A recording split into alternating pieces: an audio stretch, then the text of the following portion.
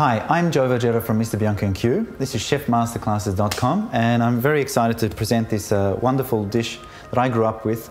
It's called bracciole. It's eye fillet, roasted, uh, with crusted with breadcrumbs and, uh, and parmesan. Eye fillet, cleaned, and then we portion it into about 80 gram slices.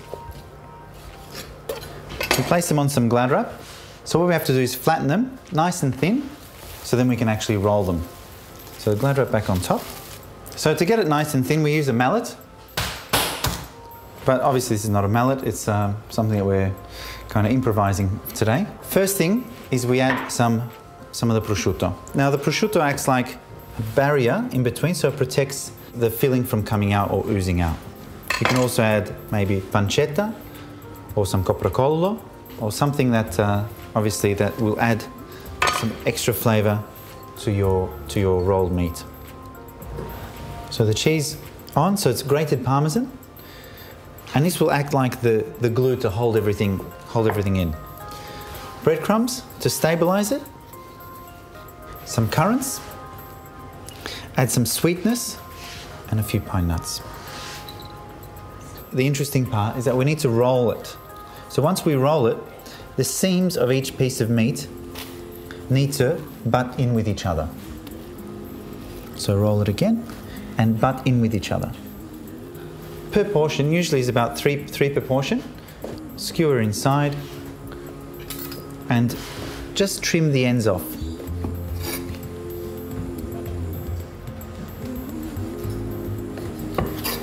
So with all the trimmings, what you can do is basically mince it or chop it up very finely and make like a, a ragu or something uh, with a, like a bolognese or so on. So don't, don't waste them. The next, next part is adding the crust. Now this is very important. So we need to press, press hard down into the mixture of breadcrumbs and the parmesan. And so what you try to do is activate the actual meat. So the salts in the, in the parmesan will react with the meat and create a crust. And this one you allow for about 10 minutes just to settle down.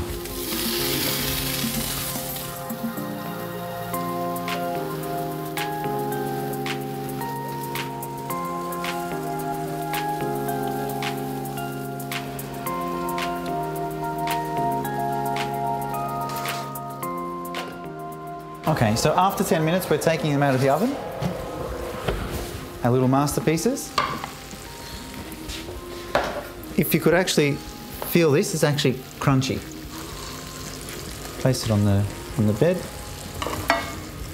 And our vegetables that we, it's a very traditional caponata. So it's just basically grilled vegetables, uh, oven roasted tomatoes, onions and capers, and a few pine nuts and currants. Onto the plate. Make sure, don't touch the skewer. It is very, very hot. You have a, a sauce, this is just a very simple red wine sauce. We can just pour it over the top.